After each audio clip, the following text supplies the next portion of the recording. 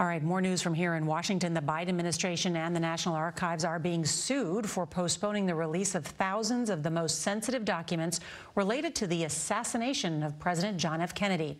The delay has fueled the government cover up conspiracy theories about one of the darkest days in our nation's history. Here's CBS's Ed O'Keefe.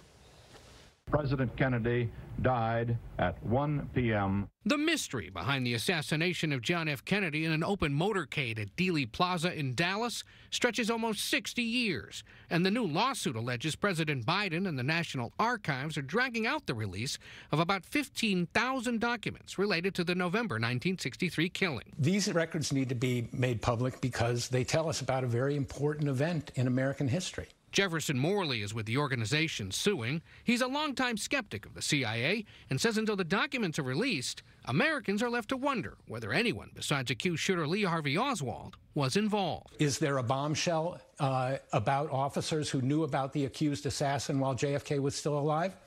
Well, let's see the records and we can decide. Most of the documents are from the CIA and could reveal other secrets, including Cold War operations carried out by American intelligence agents and a plot to kill Cuban dictator Fidel Castro. It was the 1991 release of the movie JFK by director Oliver Stone. So, what really happened that day? That fueled conspiracy theories and prompted a new law ordering the release of the documents by October 2017.